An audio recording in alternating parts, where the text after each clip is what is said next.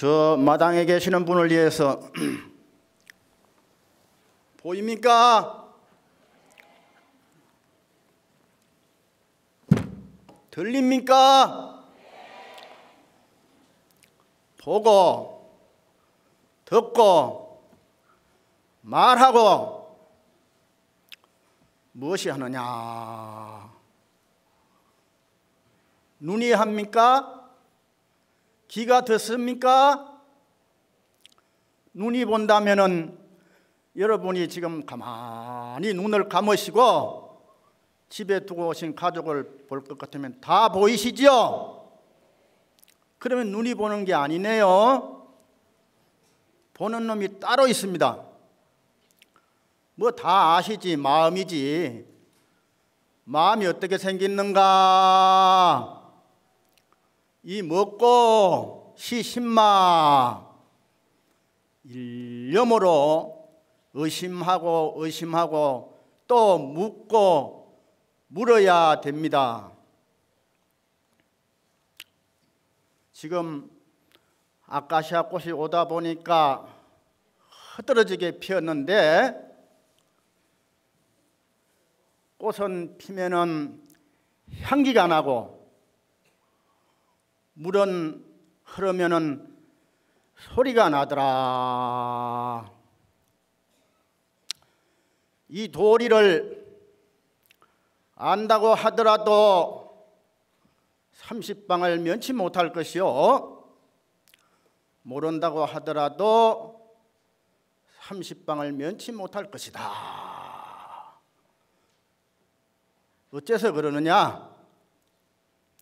안다, 모른다, 분별하지 말고 일념으로 대단한 일을 하시고 이목고를 하시고 아미타불을 하시고 간센보살을 하신다고 할 것 같으면은 바로 내 몸과 마음이 부처의 경지에 갈 수 있다.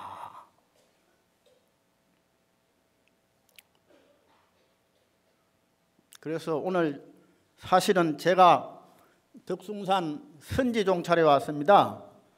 거기에 가풍은 글을 보지 않고 책을 보지 않고 경전을 보지 않고 오로지 이 무엇인가 에? 시신만 하는 그런 산중이라 아 그런데 우리 주지스님께서 이제 와서 법회를 좀 해달라고 그래서 왔습니다만은 염려가 많이 됩니다. 그래서 이제 연구를 좀 해보니까 여기 오신 여러분이 다 부처가 될 수 있다 이렇게 법화경에 써 있습니다. 여러분이 바로 부처다. 아니 부처님이라 해도 뭐 고맙다는 표시도 안 하네. 예 예. 그렇습니다. 음. 그러니 참 얼마나 하회와 같은 종교고 넓은 바다보다도 더 큰 그런 우주의 종교라 하지 아니할 수가 없습니다. 그 말은 또 중생이다 이 말도 되거든요. 그래서 우리는 중생과 부처가 둘이 아니라 중생 속에 부처가 있고 부처 속에 중생이 있습니다. 어째서 그러느냐? 내가 기분 좋을 때는 남을 칭찬도 하고 일이 잘 될 때는 웃기도 하고 하지만은 잘 안 될 때 남을 욕하고 미워하고 이렇게 하잖아요. 그게 둘이느냐? 아닙니다. 하나입니다. 그래서 이 세상에서 가장 아름다운 영꽃을 비유해서 실상묘법 연하경이라 이렇게 경전 이름을 이 일곱 자를 줄여서 법화경이라고 했습니다. 실상묘범 연하경 일곱 자가 어떻게 됐더냐? 실상이다 이 말이야. 실상 참이다 이 말이야. 허가 실이 아니고 참 쉬운 말로 여러분들이 오늘 아침에 일찍 일어나서 조계사 법화 살림에 가야 되겠다 하고 마음을 잡수시고 택시를 타고 전철을 타고 걸어서 이렇게 오는 것도 참 이것이 있는 그대로 실상이라. 있는 그대로 실상인데 어째서 꽃은 피면 다 같은 땅에서 다 같은 물을 먹고 시계도 피고 붉은깨도 피고 노랗게도 피고 참말로 묘한 돌이더라. 그래서 실상 묘법이더라. 그래서 이 세상에 가장 아름답고 가장 깨끗하고 어? 그것을 표현해서 연꽃에 비유해서 실상묘법 연향형이다. 연꽃은 자, 이 여러분들이 다 아시는 것과 같이 모든 꽃은 꽃이 피고 열매를 맺습니다. 그런데 연꽃은 화가가 똑같아.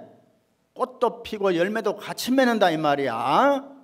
그것은 바로 아까 말씀드린 중생과 부처가 같이 있다는 것을 비유해서 그렇게 해놨습니다.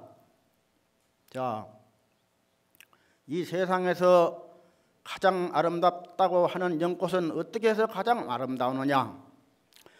여러분들이 가지고 다니는 그 마음자리가 여러분이 아까 불성이 에, 부처가 다 될 수 있다는데 여러분은 불성이기 때문에 부처가 될 수 있거든요.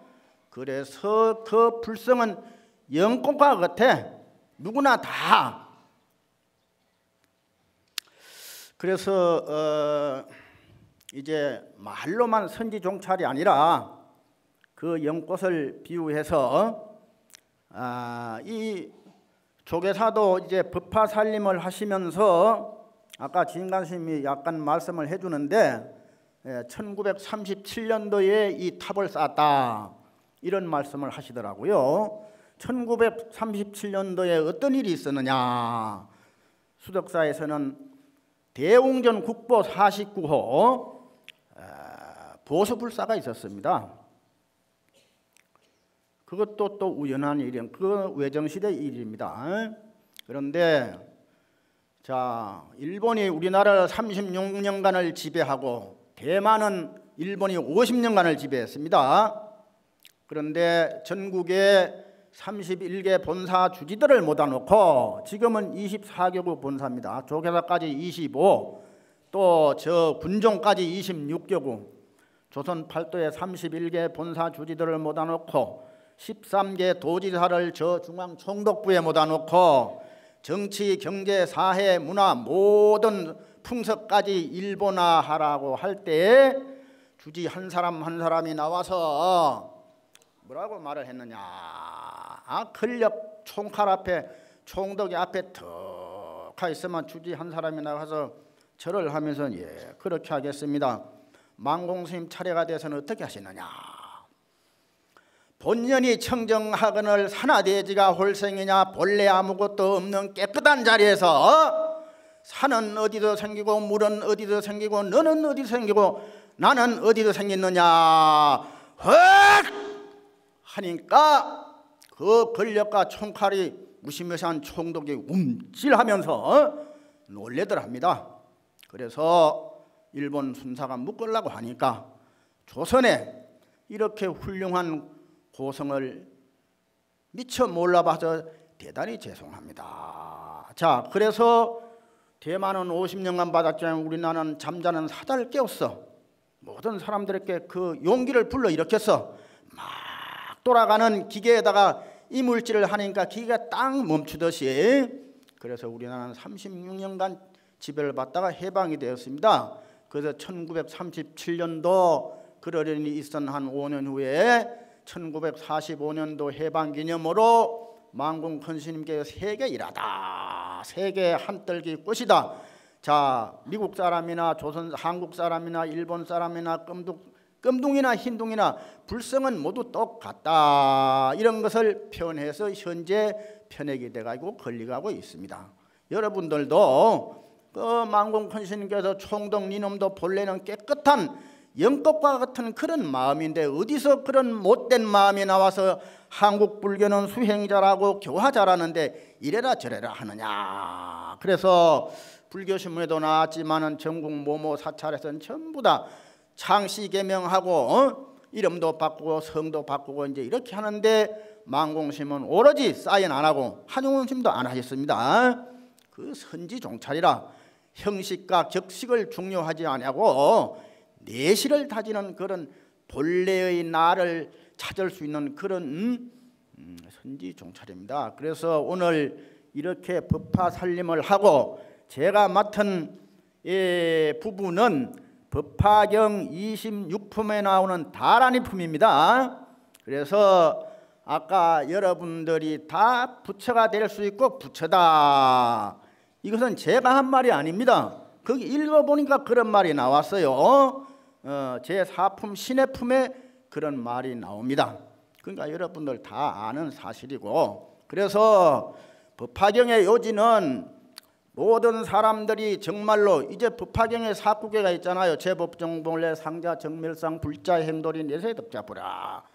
제법정본래 모든 것이 모든 법이 본래로부터 고요해. 그렇지만은 한 생각이 일어나면은 어그러진다 이 말이야.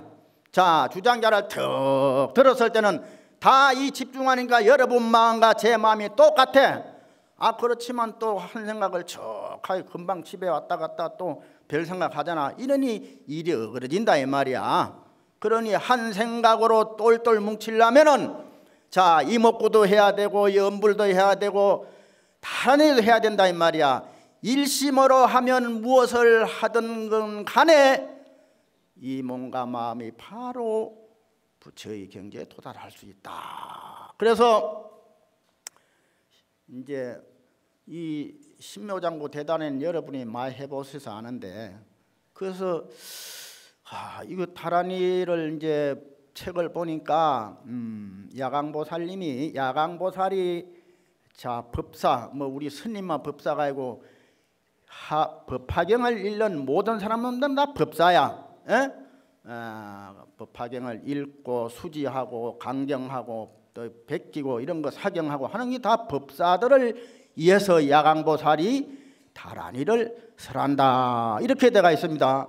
그러니 여러분들도 이제 여러분이 이제 마당까지 이렇게 오셨는데 뭔가 좀 아니 철새가 저 나무나라에 멀리 가려면 혼자 못 가요.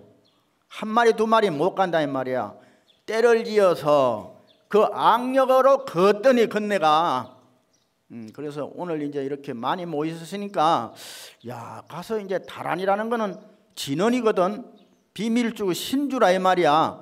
그 속에 무궁무진한 게 많이 들어있지만은 말로 한다면은 그것이 별 의미가 없고 나도 신주를 해서 등력을 해야 되는데 같이 한번 읽을 수 있는 게 뭐가 있나 그래 찾아봐서 내가 조계사 사무실에 이것 좀 복사해서 그래 한 부씩 돌리기로 하십 시오. 이렇게 했더니 오늘 와 보니까 나 이전에 이미 다 인쇄해놨어. 그러니까 이심전심으로 아마 여기도 그것밖에 같이 읽을 게 없다. 에?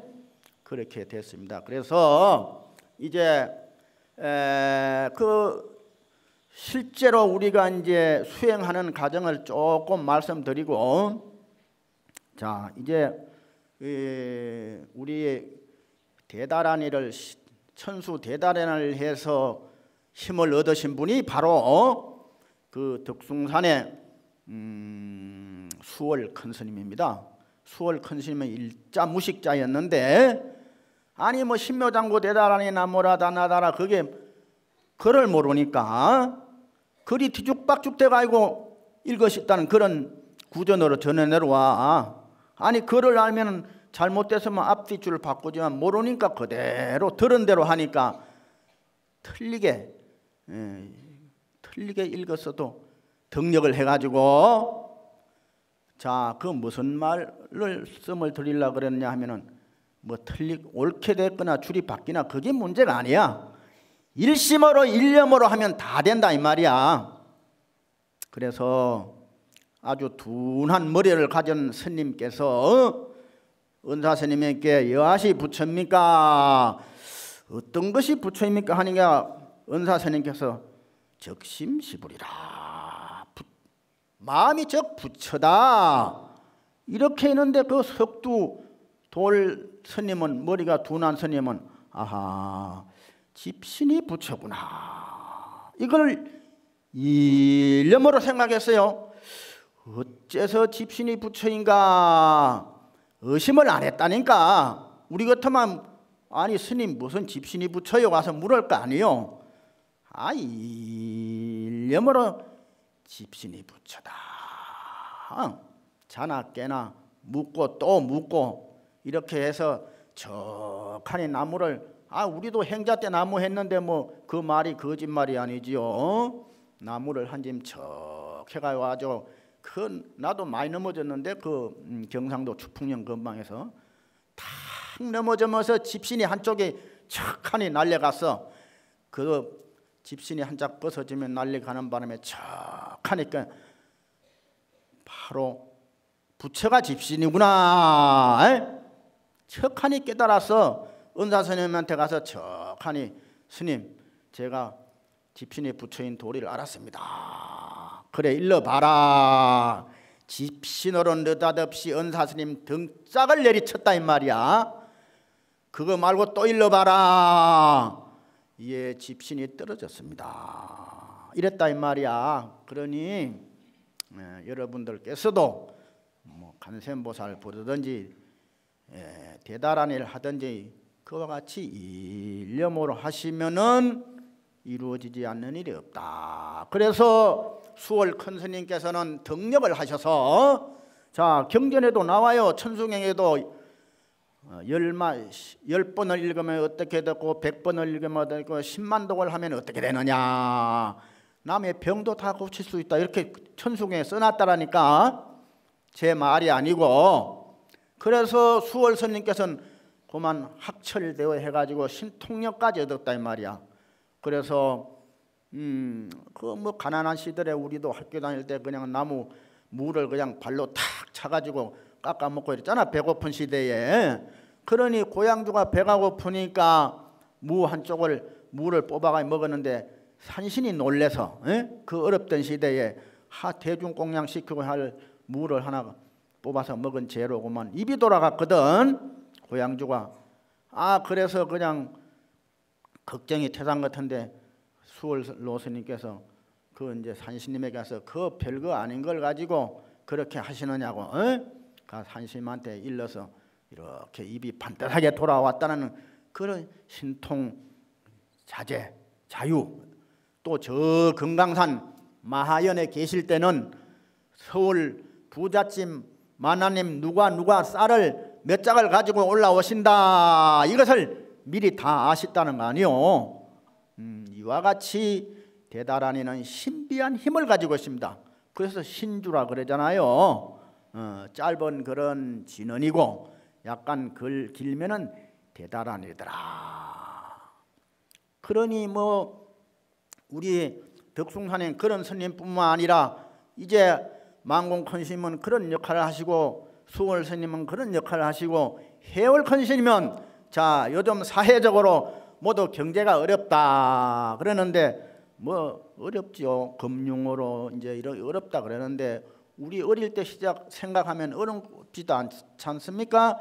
우리 어릴 때 보리밥 먹고 반찬도 없이 이렇게 소금밥 먹고 참 행복하게 살았잖아요. 그래서 이런 21세기도 엊그제 보니까 어느 기사를 보니까 캄보디아가 세계에서 행복 지수가 세 번째더라. 에?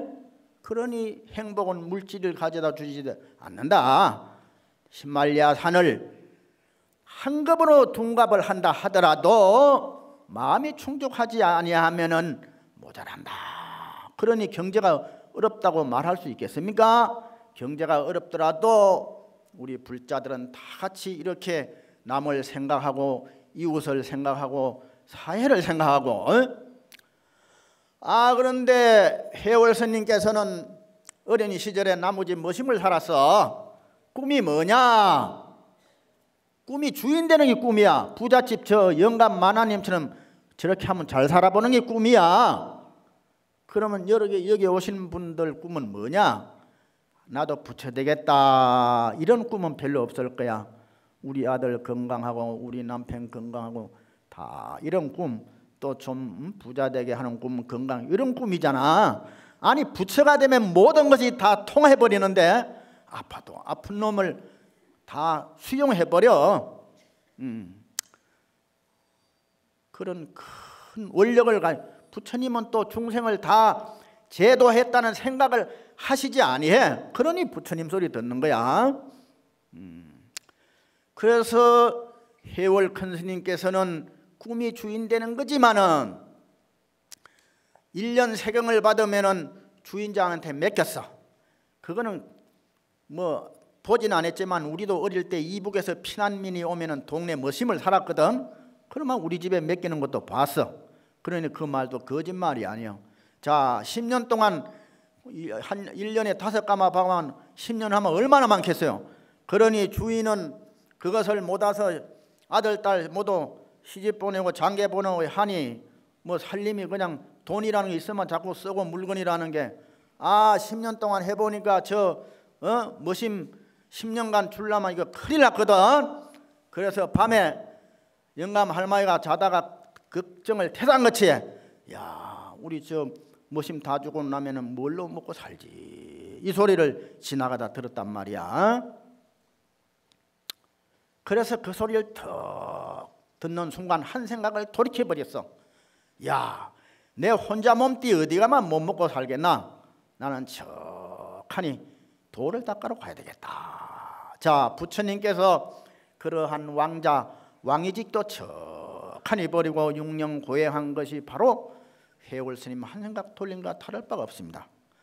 또 달마 스님께서 소림 9년 면벽을 해서 척하니 이렇게 하신 거나 다를 바가 없다. 그래서 해월 스님께서 출가를 하셔서 무엇을 하시는고 하니 은사 스님께 가서 남글 읽는 걸 보니까 참 나도 글을 한번 쭉쭉 읽고 싶고 야 이놈아 네가 10년간 참선을 아마 바로 부처가 될 텐데 무슨 글이냐 연불을 또 잘하는 스님을 보면 나도 연불 한번 하고 싶다 그래서 스님 연불 좀 해서 저도 이렇게 좀 하겠습니다. 이놈아 10년간을 하면 바로가 부처인데 무슨 연불이냐? 그래서 한 것이 무엇을 했는고 하니 허공은 법문을 듣지도 못하고 설하지도 못하는데 법문을 설하고 들을 줄 아는 이놈이 누구인가? 에? 요놈이 무엇인가? 일념으로 생각하겠어요. 해월 스님께서 그렇죠. 하니 허공은 법문을 듣지도 못하고 설하지도 못하는 이놈인데 능히 법문을 듣고 설할 줄 아는 이놈이 바로 누구인가 해가지고 한 소식을 해서 은사 스님한테 가니까 나는 너에게 가르쳐 줄 수가 없으니 계심사에 가시는 사시는 해월 큰 스님에게 물어봐라. 그냥 아 법렬이라는 게 아마 그래서 있는 것 같습니다. 아? 음. 그래서 어, 한때 정강 큰 스님께 만약에 깨달으면은 법렬이라고 있는데 그걸 어떻습니까? 스님은 아시겠습니까? 비유로서 숨바꼭질을 친구들끼리 막 어릴 때 많이 해봤잖아요. 뭐 잭간에도 심고 어디 마구간에도 심고 뭐 집더미 뒤에도 심고 숨고 그래가지고 찾아가지고 아 찾았다 하고 하하 웃는 것 같다 그랬어. 법렬이라는 게 그러니 해월 스님이 한 소식 해서 척하니 용기가 생겼어. 아이 은사 스님한테 가서 그냥 지죽은 듯이 이렇게 하던 사람이 용기가 나가지고 큰 스님한테도 가서 막 그대로 그냥 넙죽절을 하면서 간세음보살이 북쪽을 향한 도리를 아시겠습니까? 이랬단 말이야. 그거 말고 또 일러봐라. 손을 척하니 들었어. 야, 저놈이 뭔가 한 소식 했고 병풍을 걷고 불러서 물어보니까 다 통해버렸거든. 음, 그래서 너는 저 남쪽으로 와서, 음? 남쪽으로 와서 불법을 펴라. 해서 저 서남사에 가서 이제 외정 시대에 척하니 정진을 하고 계시는데 그때도 일본 순사가 와서 이제 조선의 도인들을 찾아다녀 문을 척 열면서 해월 스님 큰 스님에게 이놈 내 칼 받아라 순사가 그랬어. 음 그러니 큰 스님의 그 지혜가 보통 아니지 않습니까? 그럴 때 우리 같은 뭐라 그랬어? 칼이 그냥 척하니 오는데 그래 이놈아 네 칼은 내가 받을 전정 네 뒤에 있는 칼은 어떻게 할 거냐 아이 뒤에 칼이 있다니까 돌아보는 순간 주장자로 대가를 탁 때리니까 그만 굴복을 했거든 자 그래서 망공 큰 스님은 초생 딸이요 또 해월 큰 스님은 응? 음, 중간 딸이다 또 수월 큰 스님은 온달이다 그 세 달이 있습니다.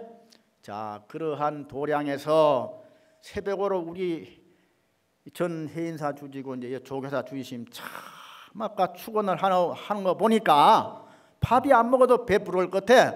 또 모든 것이 소원이 성취가 될 것다 이 말이야. 그 목소리에 그냥 나옵니까? 한 평생 수행하고 정진한 그 힘으로 나온다 이 말이야. 그냥 생짜배기 갖다 놓으면 안 나와. 덜덜 떨고 그냥 물어 익었잖아. 음. 이와 같이 중생제도 하는 게 여러 방편이 있습니다. 그래서 사실은 오늘 이 해민 세민 큰 스님 앞에 내가 법문한다는 그래. 아이고 이거 큰 스님 앞에 그 내가 참 와서 염려를 많이 했는데 어 법문 이 큰 스님 연불 소리 한번 듣는 걸로 오늘 아주 온 보람이 있습니다. 그래서 해인사 이제 주지를 하셨지만은 여러 불자님들도 아, 해인사에 자 외정시 때 이해강 큰 스님이 계시는데 친일파 스님이라 그래 그때는 지금이니까 친일파라고 말하지만은 친일파라고 말도 할 수 없는 그런 시대에 척하니 이제 소위 말하는 선법문을 한다고 법상에 올라갔습니다. 올라가서 무슨 법문을 했는고 하니 삼세 제불과 역다 역대 조사가 금일 이 산성의 입으로부터 나왔느니라. 그랬다 말이야. 알겠느냐? 그러니 여러분들처럼 법당에 딱 앉아 있다가 어떤 뚱뚱한 노보살님 한 분이 손을 척 들으면서 해강 해강 스님도 아니야 그냥 해강 척 불러 제껴 놓고 그래 역, 역대 삼세제불과 역대 조사가 네 입으로부터 나왔다면은 너는 어디서 나왔느냐 그랬단 말이야 그러니까 얼굴이 그냥 뭐 친일파 스님이가 얼굴이 붉어가 평소에도 좋았는데 그냥 얼굴이 더 불그럭 북적하면서 그냥 어? 음, 한방 먹었지. 한백 명이 맞았다 이 말이야. 신도한테 대답을 못 하니까 그러니까 여기 앉은 수자 스님이 척하니 해강 스님은 대답을 못해서니까 내려오십시오. 그랬네. 그렇다면은 그럼 보살님 한번 말해 보십시오. 보살님 어디서 나왔습니까? 얼굴 하나 안 붉히고 어디서 나오겠 어디서 나왔어? 내 두 가랭이 속으로 나왔지? 이랬단 말이야. 음, 이것처럼 이제 우리 신도님들도 스님을 달아볼 수 있는 그런 정진을 많이 하시고 음, 참선을 하든 연부를 하든 그래 이제 그러한 실제로 음, 경험한 거 하고 그러니 이 여러분들이 지금 법화경 26품째인데 정말로 거기에 무궁무진한 이 시대에 부처님은 바로 경전이다. 응? 경전이야 바로 부처님이야. 그렇게 좋은 법문을 많이 듣고 음, 얼마든지 그렇게 공부할다 이 말이야. 그래서 어, 오늘 이저 어, 여러 대중이 많이 모여서 이론을 갖고 안 되거든. 이론 이 틀을 때는 조금 감명이 가고 어, 약간 마음이 이제 동하지만 또 잊어버린다 이 말이야. 그러니 아니 밥을 먹으라고 뭐 온갖 방법을 다 가르치면 밥을 먹어야 배가 부르지. 그와 같이 오늘 그러면은 이거 어, 야광보살 대다란 이를 이제 같이 한번 해서 이 또 여기에 이제 그 동안에 여러 어, 세월이 흘러면서 조계사가 많은 발전을 해왔습니다만은 대한불교 조계종 총본산이 탑이 저렇게 왜소했어야 되겠습니까? 음, 뭐 모양에 있는 건 아니지요. 형식에 있는 것도 아니고 어? 격식에 있는 것도 아니고 질적으로 중요하지만은 그래도 이 법당이 이만큼 훌륭한데 탑을 불사를 이제 법화 살림을 해서 그런 원력을 세우고 지나가던 소가 콧기모로 그 책장을 넘겨서 바로 그냥 축생보를 보셔서 이고등락했다는 영업록이 있는가 하면은 또 자기의 부모님을 위해서 책방에 종이 사러 가는 도중에 벌써 부모님이 이고등락했다는 영업록이 있습니다. 이와 같이 하 법화경 살림법회를 하시면서 또 이런 좋은 인연복을 질수 있는 탑불사도 하시고 또 조상령과 천도를 자 우리의 근본이 인간의 가장 마음복의 근원이 효라 이랬단 말이야. 조상을 이해하면 모든 것이 잘 풀려. 그러니 이제 그러한 모든 것을 한 생각으로 모두는 어, 대단한 일을 한편 치도록 합시다. 왜냐? 야광보살이 일, 어, 설한 대단하니 우리가 생소해. 그러니까 조금 이제 흥을 독국에선 평소에 잘 하시던 신묘당구 대단한을 외우시고 독경을 하고 그 다음에 야광보살 대단한을 한편 하고 마치도록 하겠습니다. 여기에 에, 어, 제가 이제 인쇄를 해갖고 왔는데 여기 오니까 이미 돼갖고 있습니다. 그래서 이거를 어, 야광보살 대다란이라고 했는데 아니마니 마네 마마네 지 밑에다가 야광보살 다란이 한글 어시겠습니다. 신묘자다 장구 대단한애를 한편 하시고 야광보살 대다란을 원문 대다란이 원문으로 하시고 밑에 한글도 같이 하고 끝내도록 하겠습니다. 신묘장구 대단한애 이제 같이 합시다.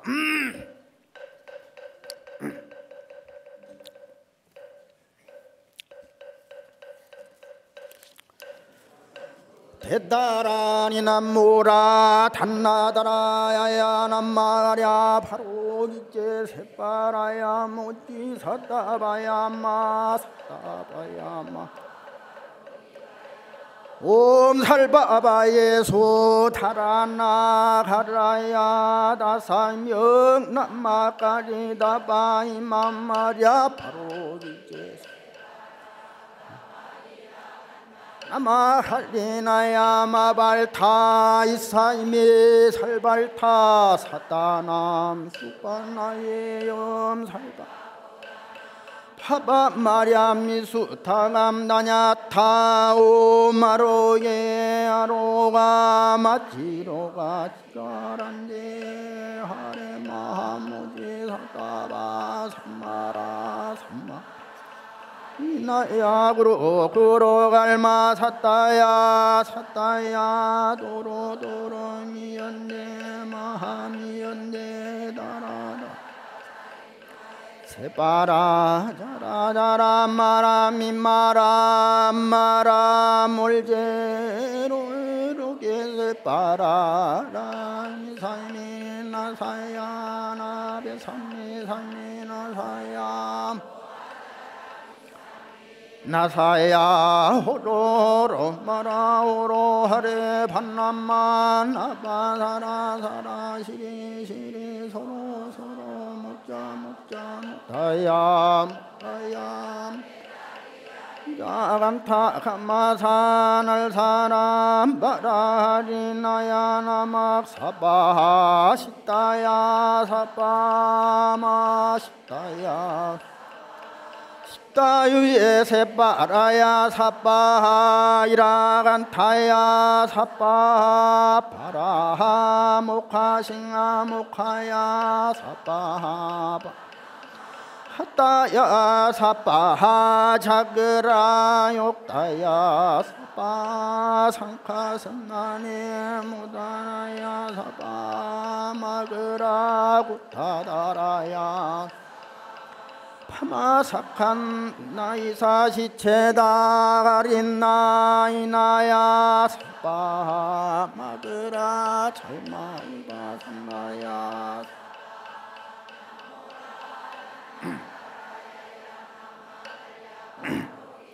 세바라야 사빠 남모라 덧나다나야야 나마야 바로 이제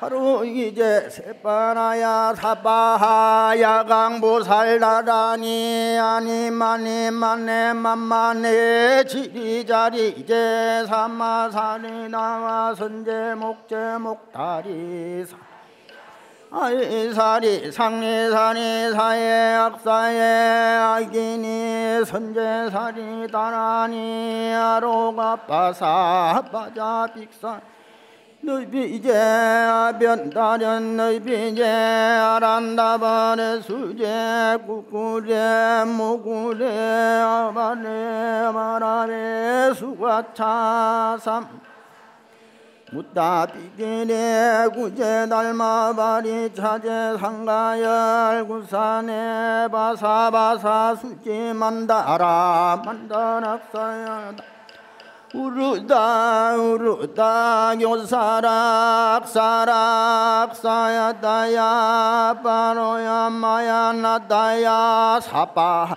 희요하십니다. 마음 깊이 돌이키니 무심말사영은 하옵니다. 부처님 행처럼 접촉하고 담방하며 고르게 해탈하니 모든 중생제도 하옵니다. 평등하여 평화로워 두루 차별 없으며 티끌만한 번뇌조차 없으니 벗어남시 벗어납니다. 항상 마음 가르침에 따라옵니다. 모든 선을 기르고 악을 제어하며 스스로 돌이켜 비추어 믿고 의지합니다.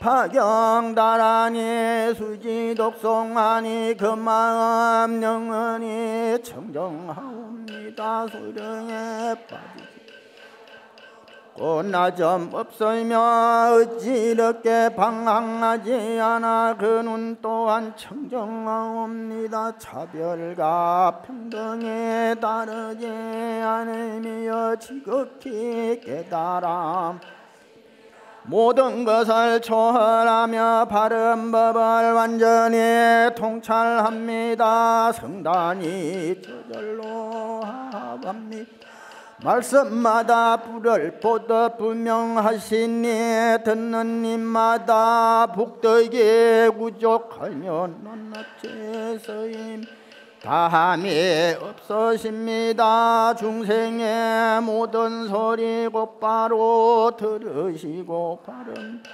펼치시며 바르게 인도하시니 부처님 가르쳐 모심 없이 따르니 하고자 하는 모든 다른 낭비 성취하옵니다.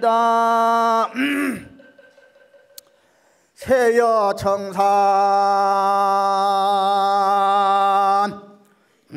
하자 시냐 충강 무츠 어 불게 하로구나. 나.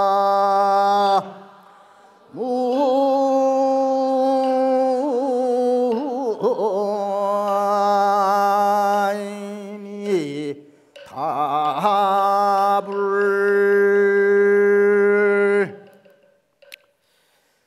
세상의 티끌 같은 중생의 소리를 다 들어봐도 대해에 저 많은 물을 다 마셔 마셔봐도 허공에 바람을 다 붙들어 매 봐도 부처님의 공덕만 못하더라. 세여청산 하자시냐 세상에서 여러분들처럼 음, 돈 벌고 자식 놓고 저금하고 못 두고 만나고 하는 이것이 옳으느냐 그럼 그거 안 하고 우리 스님들처럼 그런 거 다 모든 거 막살하고 진리를 위해서 이렇게 하는 것이 옳으느냐 이렇게 물었어요. 음, 묻고 답하시기를 아이 뭐 세상 부귀 영화가 좋으니까 그렇게 하는 것이 옳다. 아, 그 티끌 속에 그렇게 살아봐도 별것이 아니더라. 출가해서 하는 게 좋. 이렇게 말을 안 했다 이 말이야. 이건 조사 스님 말인데 부처님도 그런 말씀했거든. 뭐 출가해라 좋다 나쁘다 이런 말씀 전혀 안 했어. 부처님은 또 무슨 말씀했는 거냐? 뭐를 나 내 말을 안 듣고 나를 안 믿고 내가 가르친 대로 하면은 어디 뭐 내 문에 안 들어오고 지옥 간다고 이협도 안 했다 이 말이야. 또 믿으라고 강요도 안 했어. 그러니 얼마나 참 위대한 종교냐 이 말이야. 음, 그렇게 이제 어느 것이 옳으느냐 묻고는 스스로 답하기를 자 그렇게 하시는 것도 일념으로 일심으로 자 충강무처 불교하라 그랬거든 봄 강명이 꽃은 봄 강명이 안 오면 안 펴. 봄 강명이 와야 핀다 이 말이야. 음, 그러니 부처님 자비는 다 평등하다 이 말이야. 음, 봄 강명은 부처님 마음이요. 그러니 부처님 마음이 뭐예요? 적심 시부라는 마음이 부처라고 했는데 여러분도 다 그 마음을 가지고 있으니 세상에 살면서 그렇게 하든 또 진리를 탐구하든 일념으로 일심으로 무엇인지 하면 이루어지지 않는 일이 없더라. 오늘 이 법화 살림하고 법화 법회하는 이 인연 공덕으로 여러분들 가정에 여러분의 가슴마다 모두 건강과 행운이 함께 하시고 부처님의 자비 강미 가득하시기를 빌겠습니다.